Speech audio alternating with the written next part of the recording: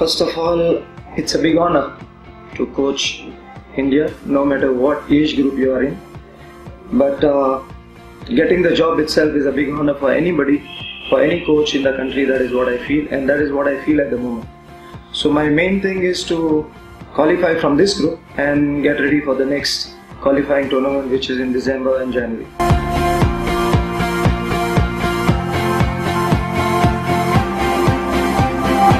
Yeah, everybody knows, and whoever has watched ISL, that what Sandesh Jhingan was to Kerala Blasters. He is an upcoming player, good defender, and for sure, 100% that he is there, and he is in my plans to be part of the under 23 Olympic team.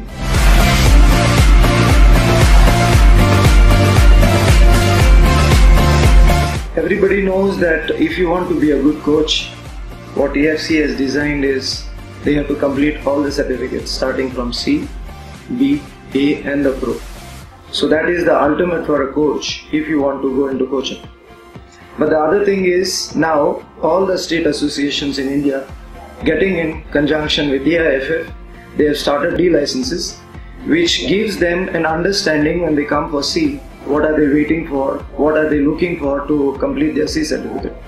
So I think if all the coaches take it seriously and try to prepare the way the coach education is going on right now at the moment, that is the only way for our coaches to go ahead and to see that they become good coaches and they have a good future in coaching.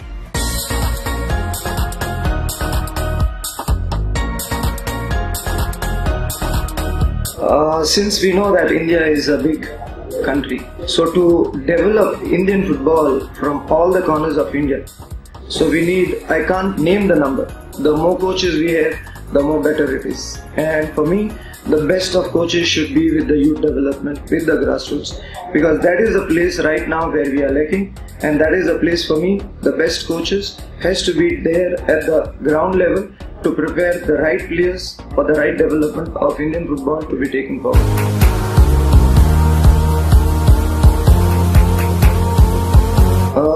Are two academies which have been going on under 14 and uh, right now the coach will be joining a foreign coach which we have taken, AFF has taken, will be taking over and looking after.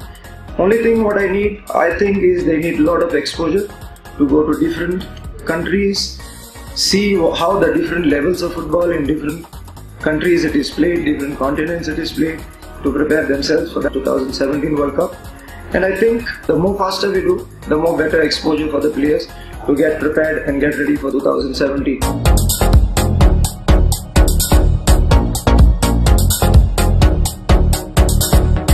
Yeah, the, uh, first of all, they have to complete their licenses.